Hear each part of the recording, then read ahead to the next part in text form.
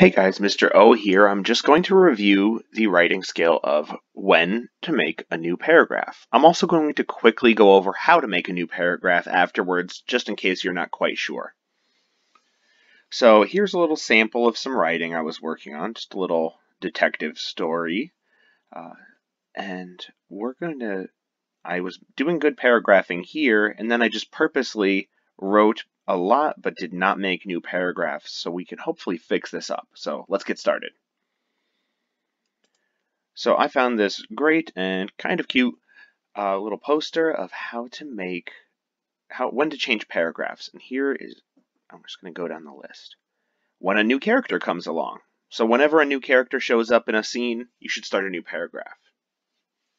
Whenever a new event happens. So if something different happens, Time for a new paragraph.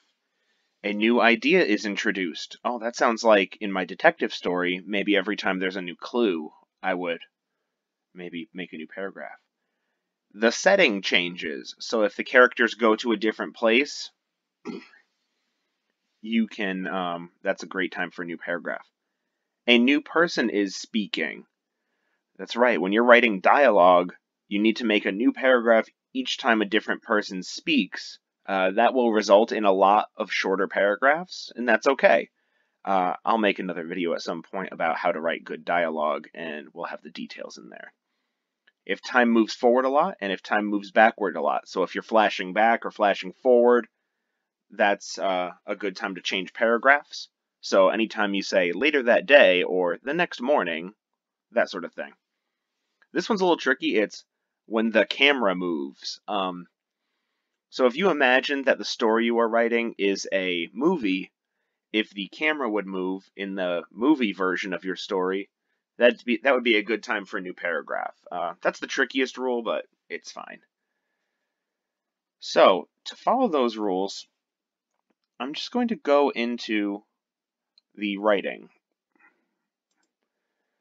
So, it was an exciting summer day when my friends and I first noticed the missing noticed a missing dog sign. My friends and I took a long ride on our bikes just to see how far away people were hanging up these signs. They were all over our neighborhood. I went to the grocery store in the next town over. Oh, I went to the grocery store in the next town over, so I need to make that into a new paragraph. So I click there. I'm just going to hit enter twice to skip a line, and I'm going to hit the tab button to indent to make a new paragraph. Let me make sure I do that for the other one too. Okay, let's see. I went to the grocery store in the next town over, and I even saw some signs there. I asked my mom if I could get some extra granola bars and other snacks I could bring with me on a bike ride because my friends and I wanted to solve the case. When I got back home, oh, another change in setting. The character's back home now, so I've got to skip a line. Oh, and look, it indented for me that time, so I didn't even hit, have to hit tab.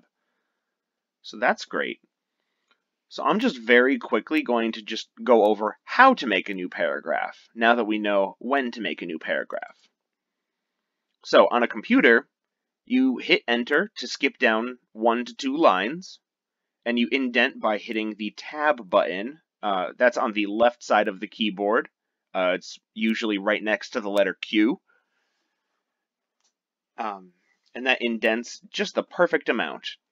Uh, sometimes once the computer figures out that you're using good paragraphs, it'll start indenting for you so then you don't have to hit tab.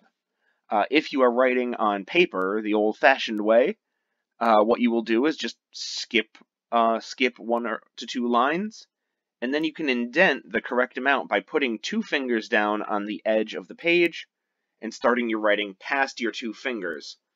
Uh, that way you still have that little bit of space to show that it's a new paragraph.